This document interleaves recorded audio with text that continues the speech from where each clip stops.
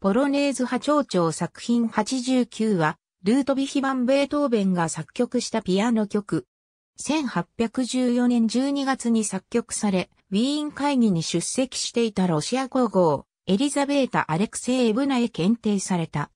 これは作曲者の友人であったアンドレアス・ベルトリーニの発案によるものであり、ベートーベンには検定への見返りとして皇后から50、ドゥカートが贈られている。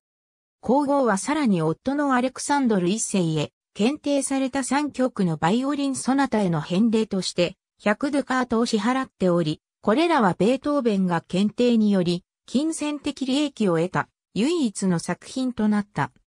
当時のベートーベンは名士として社会的成功を手にする一方、創作活動では深刻なスランプに陥っていた。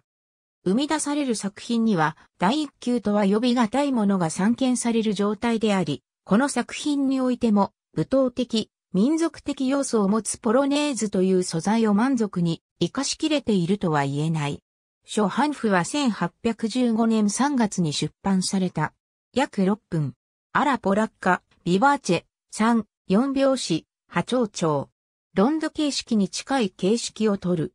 冒頭、波長長の手話音の強打に続き、カデンツァ風の助走が繰り広げられる。落ち着くと、フレーのポロネーズ主題が登場する。第1のエピソードは、オクターブの上昇音階で構成される。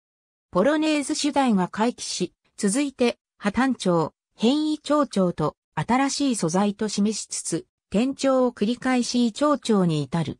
異長調でポロネーズ主題が顔を覗かせるが、すぐさま半音階的推移を経て、波長長へと戻る。コーダは、ポロネーズ主題を用いて進められ、カデンツァ様のパッセージが現れる。その後は一度落ち着いてから次第に勢いを加え、ミエトリルが奏でられると、ポロネーズのテンポに戻って明るく閉じられる。ありがとうございます。